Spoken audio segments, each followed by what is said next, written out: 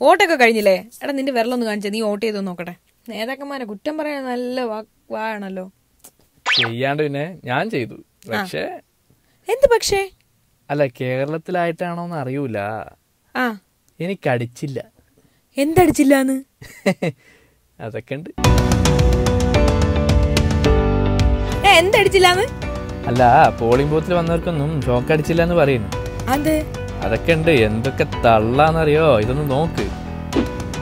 ഇതിൽ കോൺഗ്രസിന്റെ ബട്ടൺ അമർത്തിയില്ലെങ്കിൽ മെഷീനിൽ ഷോക്ക് അടിക്കും? എങ്ങനെയുണ്ട്?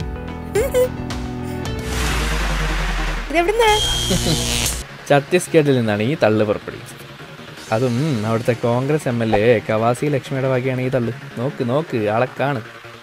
അയ്യോ.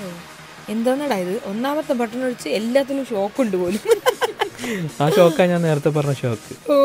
ഇത് മറ്റേ മോദിജി ബൂത്തിൽ ക്യാമറ വെച്ചിട്ടുണ്ടെന്ന് പറഞ്ഞ പോലത്തെ തള്ളല്ലേ? അങ്ങനെ സ്കീം ഉണ്ടോ അങ്ങനെ ഒരു തള്ളുണ്ടായിരുന്നു. ഓ. ഇതൊന്ന് വായിച്ചു നോക്കിക്കേ.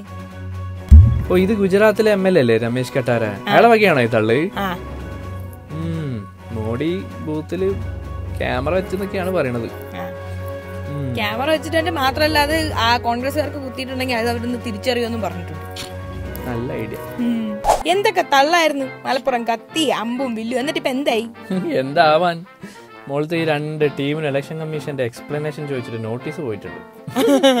നന്നായി. നോക്ക്. എന്തായാലും ഒരു അമ്മ പറ്റാളിയന്മാർ തന്നെ നല്ല ട്രോൾ ഈ ട്രോൾ കണ്ട?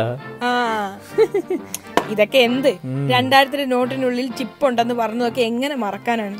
പക്ഷേ ഞാനത് ഇത് നേരാണെന്ന് വിചാരിച്ചിട്ട് നോട്ടൊക്കെ കീറി നോക്കിയിരുന്നു.